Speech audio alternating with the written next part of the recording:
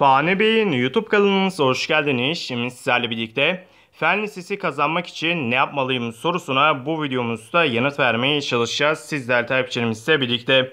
Hedefiniz iyi bir lise ise yani Fen Lisesi'nin en üst versiyonunu istiyorsanız burada her gün sınavda çıkacak soru sayınızın en az iki katı kadar e, ne diyelim e, soru çözmeniz gerekiyor. Yani LGS'de örnek veriyorum 180 mi soru çıkıyor. Bunun iki katı 360 tane çözeceksiniz. Unutmayın çok soru değil hatalarını gösteren kaliteli soru çözmeniz ve sınav uygunluk derecesi olan e, kitaplar ve deneme sınavlarının sürekli üzerinden geçirmesi fen lisesi kazanmak için olmazsa olmazdır. Bunlara dikkat ettiğinizde siz de en üst lise olan fen lisesini kazanabilirsiniz. Tabi şu da önemli dersi e, mutlaka iyice dinleyin. E, evinize geldiğinizde konu anlatımlı kitaplardan ve video derslerden faydalanın.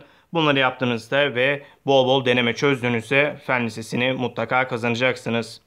Videomuz bu kadardı. Umarım videomuzu beğenmişsinizdir. Video beğendiyseniz aşağıdan beğen butonuna kılmayı unutmayın. Kanalımıza abone değilseniz lütfen abone olun. Bir sonraki videomuzda görüşmek üzere. Hoşçakalın. Kendinize iyi bakın.